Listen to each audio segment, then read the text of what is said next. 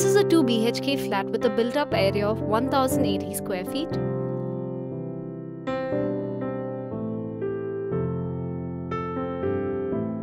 The apartment floor has vitrified tiles in the living areas and ceramic anti-skid tiles in the bathrooms and balconies. The walls are painted with distemper. There is a separate dining area. The kitchen has a granite platform with dado above it. The apartment has a separate utility and two balconies. The apartment has two bathrooms, one common and one attached.